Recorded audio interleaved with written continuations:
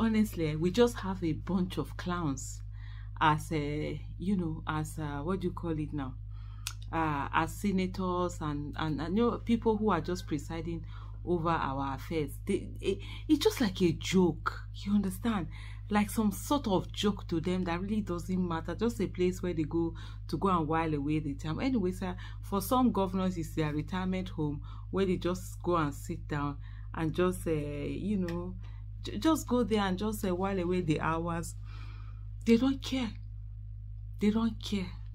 On this Senator Ningi issue, that Senator, there's a report here that uh, just in day after Ningi trustees legal action, Akpabio says Senate will lift suspension soon. Senate President Godswill Akpabio has announced plans for the Red Chamber to revoke the suspension imposed on Senator Abdul Ningi, PDP Bauchi Central. This development transpired just 24 hours after Senator Ningi penned a letter to Akpabio indicating his intention to pursue legal action if his suspension remained unresolved within a seven-day time frame. Senator Ningi's suspension stemmed from remarks made during a BBC Hausa interview wherein he alleged that the 2024 fiscal year budget had been inflated by 3.7 trillion. Following intense deliberations among senators during a plenary session, Ningi was suspended for three months and instructed to issue a formal apology to the Senate.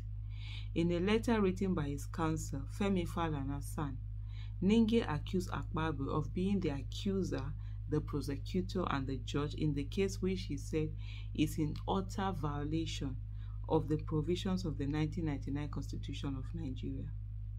In the letter titled Request to Lift the Suspension of Senator Abdul Ahmed Ningi, dated Wednesday, March 27, 2024, Senator Ningi threatened to seek legal redress. The senator accused Akpabio of causing him to be put on trial before the Senate on March 14, 2024, contrary to the provisions of the Legislative House Powers and Privileges uh, Act 2018. But answering questions from newsmen on Friday on arrival from the Inter uh, Parliamentary Union IPU meeting in Geneva, Switzerland, Akpabio said the Senate will soon review the three-month suspension. He said, it's a, a parliamentary decision. I have not seen the letter yet, but Senator Ningi is one of us. I mean, what is a suspension? I believe that in a few days he will join us, so there is no problem. It will be resolved amicably. The Senate is a family. Just listen, listen to him where he was actually saying this, and you just shake your head for Nigeria that the suspension of Senator Abdul Ningi be lifted within seven days or drag the Senate to court. Akpabio says the matter will be sorted. I haven't seen the letter yet. Well, Senator Ningi is one of us, so uh, I mean, what uh, what is suspension? We expect that in a few days he will join us, so it's not a problem. Thank you very much. It will be resolved amicably. Thank you. the Senate is a family. Honestly, there's so much clownery going on, and you look at the fact that this is a country where a lot of things aren't working very well. You could say the country it's it's in a big big trouble, in a big big mess. Yet these people who are supposed to be in offices concerned about how to move Nigeria forward, they, they're just bunch of jokers. They just see it as a joke. They just do this thing anyhow. Why did they let them stay now? Well, because we want to see. There have been absolute proof that indeed they padded those budgets to the tune of trillions. They padded the budget anyhow they went to. BudgIT, an organization that is always working with budget and breaking it down, they went through the line items one after the other and they were able to see all of these things.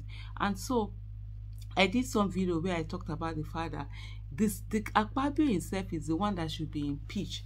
But what you have rather is the Ningi that has been put on suspension because Nigeria, of course, is always that country where it is the people who are doing the wrong thing that always seem to have, you know, the muzzle and the power and the and the audacity and the enabling environment for them to continue to behave badly.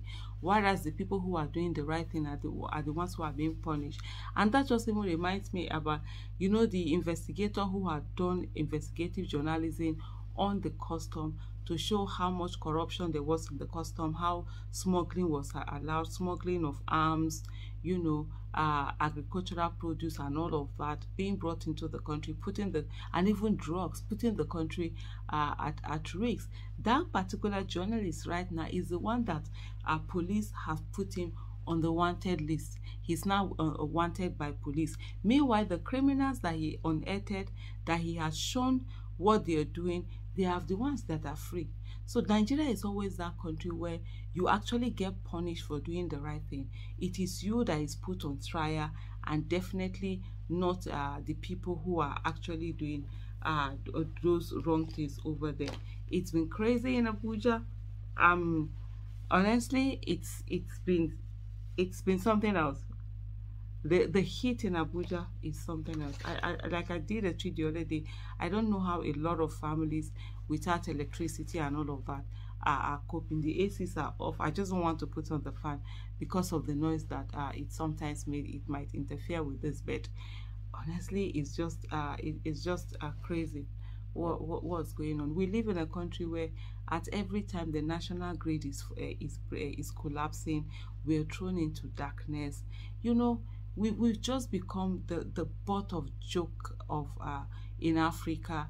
And yet we just have a bunch of people who are supposed to be leading this country just behaving anyhow and just doing uh, things the way that they want to do without any regard, you know, for, for, for the citizens, without fear of the citizens that they they, they are supposed to be leading it, it can be so frustrating honestly. Honestly being a nigeria can be such a frustration. But the thing like i always say to every one of us is the fact that we don't have option. Giving up can never be an option. We continue to be here. We continue to do the rightful. We continue to do the needful. We continue to participate. We continue to to we continue to work towards getting us that nation that belongs to all of us that we all will be working uh, towards and we must ensure that we definitely uh, do, do, do get this. So let them continue what they're doing. Let them continue to do all of these things that they do. One day, it will no longer be business as usual. It will become business un unusual. And as we look at it, we might be looking at it as if it's too far away. It's far away or something that is impossible that can never happen. But I always take uh, solace in the words of Nelson Mandela, where he said that uh, it's impossible until it's done.